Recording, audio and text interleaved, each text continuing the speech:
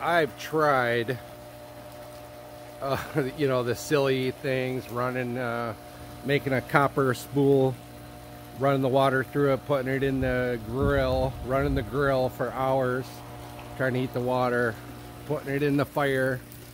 You know, none of that stuff worked. The, the solar heaters work great.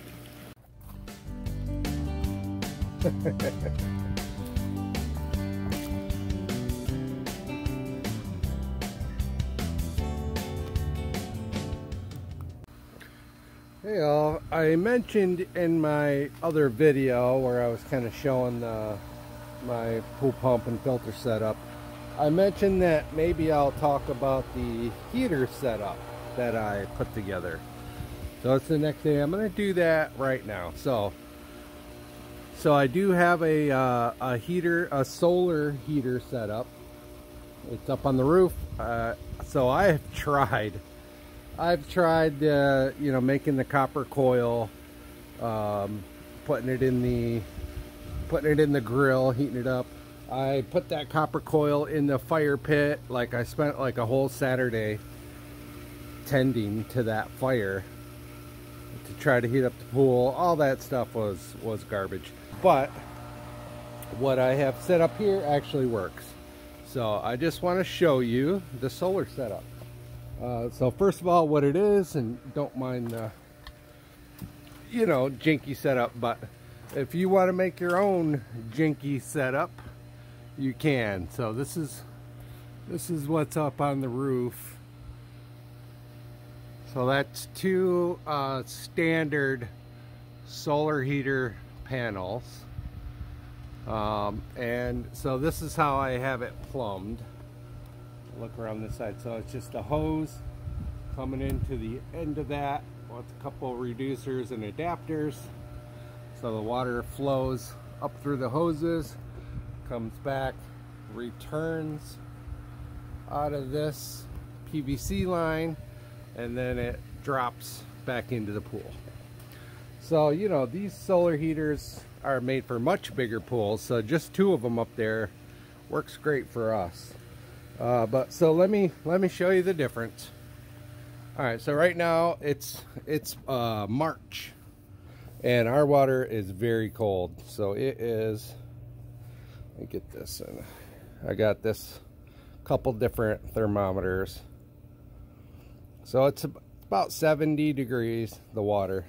So it's about noon right now. The sun is right up, right up above us. Uh, so I shut it off for a couple minutes. If I just shut it off for a couple of minutes, I can get that water to come out like steaming hot, um, like ridiculously hot. Let me go grab that digital thermometer and I will show you. Save the bees. Come here, buddy. I'm to save you from the water. Hopefully you can dry out and fly away. Here. Alright, so how I turn the flow on to the heaters that are up on the roof is just right here at the bottom. I put it on the drain of the uh, the filter housing. So you turn it on full flow. The water just travels through the hose. I have it buried right here, but then it goes up the side of the wall, up to the roof, through the heaters, and returns back here. So, let's see, it's been off for, I don't know, maybe five, ten minutes, something like that. And if I give it a few seconds, my, oh yeah. All right, let's see how hot the water is that we're getting out of here. Collect the water up.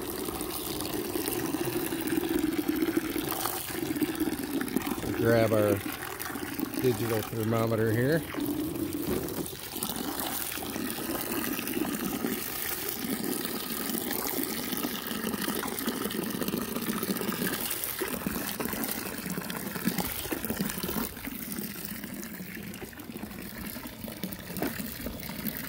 Okay, there we go. Quite the difference. Yeah, it really is 120 degrees. That That is hot, very hot water coming out of there. Like I say, pretty much at any point in time, if I slow this down enough or just stop it for a few minutes, can literally make the water come out hot enough to burn you. So that's at full flow at the moment. It's still coming out really hot.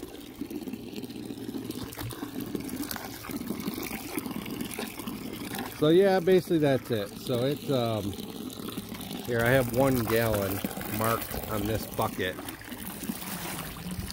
So at full flow, if we count, let's see, 3, 19, 20, 21, 22, 23. Where's the problem down there?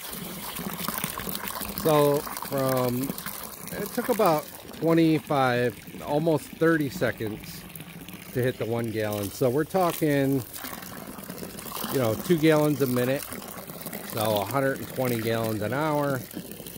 And so if we wanted to do, it would take about 10 hours to run 1200 gallons. This pool is approximately 6,500. So see 5 times 1200 would be 6,000. So 10, 50, 50 hours, yeah, about a week. We were running this about a week, but that's only, um, you know, that's 40 some hours. We really only get maybe five hours of sunshine. So you're talking like 10, 10, 12, 14 days of running the heater to actually heat it up. But, you know, this is, so right, so now it's starting to get a little more back to normal. So here's our digital thermometer again. Water's about 70. My pocket's floating away. All right, so dump that out. Put that in there. And here we go.